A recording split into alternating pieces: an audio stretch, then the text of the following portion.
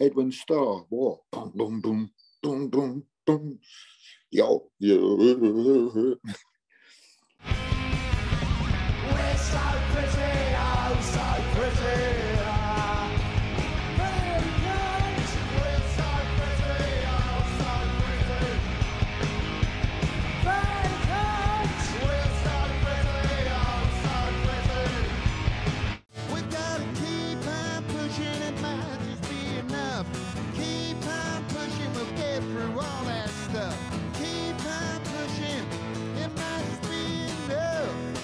What's the first record you want to talk about that made you? Well, this this one, I suppose. Well, shake it up, baby. Shake it up, baby. Twist and shout. Twist and shout. Come on, baby. Come on, baby. Come on and work it on out. Beatles Twist and Shout EP. That was one of the very first records. It might have been the first record I bought with my own pocket money when I was a kid. And I bought it from the washing machine shop in Olsden. And they, it wasn't a record shop. What they used to be was like radio rentals or something where you rented your TV from and washing machine and radiograms. And they used to have the top 20 and little pegboard um, sort of partitions and stuff. So that was that one, and that was good. And John Lennon's vocal on Twist and Shout is fantastic. So it's a real slice of rock and roll. What impact did that have on the young Glen then when you when you heard that? What did it what did it do to you? Oh, I thought I'd immediately start the Sex Pistols.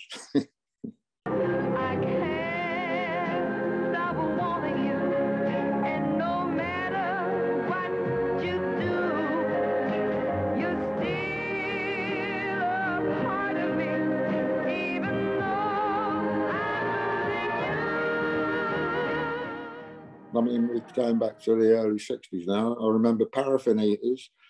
I remember um, icicles on the inside of the windows. I remember having a tin bath. Um, but that was a fantastic time musically. That's when all the bands, you know, like the Kinks and Who and the Yardbirds and Small Faces and the Stones came through. And then there was a fantastic TV show called Ready Steady Go, which I don't think has ever been better. And Dusty Springfield was on it a lot, and she got hit and kind of dis- discovered Tamla Motown and soul and Stax music. You know, you'd see playing live, you'd see um, Smokey Robinson and the Miracles and Martha Reeves and the Vandellas and Sam Cooke and Otis Redding. It was fantastic. What not to like? You know, I mean, so and all those songs they wrote, I mean, it- was a good sort of yardstick for me. They're all kind of like mini operas, you know. They're all the songs were, were hits that were a bit hipper stuff. You know, as well as being a perfect slice of three minute pop, it was all about something, you know, and it won't all bring down the government or blah, but you know, you can really nail what the topic of the song was about. And that's important in songwriting, you know, is to be clear and, and concise and sum it up in three minutes. That's what I always try to do. Whether I succeed or not is another matter. But I have written a few. So I think that's where it kind of comes from.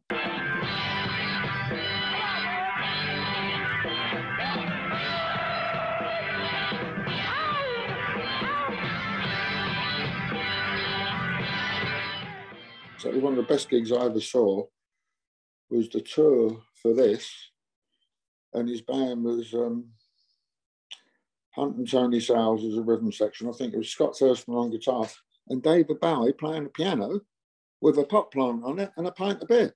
That was great. Well, it, it, it, was- it was his sort of not comeback tour, but it was the new Iggy kind of thing. He was playing in London, but they did a warm up gig at Friars in Aylesbury, and like nearly all of the punks in town went out to that one. I drove there in my little sports car with my girlfriend at the time with a bass player from the Heartbreakers, Billy Rath. He spent all the time trying to shout out my girlfriend in my car. But the gig was great. And to see Bowie playing piano when he didn't have to, but wanted to, was kind of cool. Yeah. What is it good for? Absolutely nothing. Uh-huh. You know, when you're sort of 15 and half, 16, you start going out to discotheques we used to have then. There was a chain of places in London called the Bird's Nest. There was the Chelsea Bird's Nest. There was the Fulham Bird's Nest in North End Road. The girls used to drink Pernod and blackcurrant. and the blokes used to drink snake bite with a shot of blackcurrant on top. Everybody had these sort of black glasses and black glasses, not glasses, but you know, drinks glasses. And um, the ultraviolet light they had would sort of make them look a bit funny too.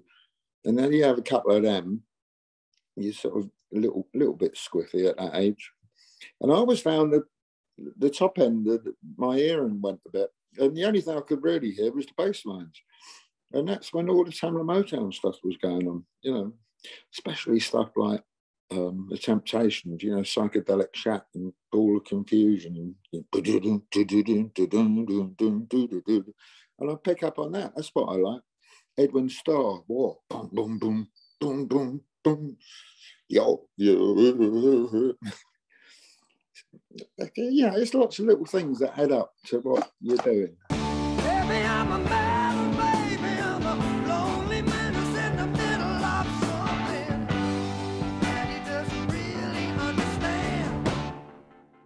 Was one of the very first albums I actually bought myself.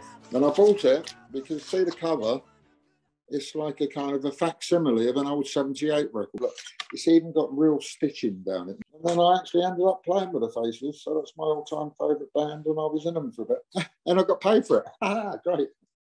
But then And what was that like then whenever so for them to have been so big for you when you were younger and Well, then to I find yourself think- on stage?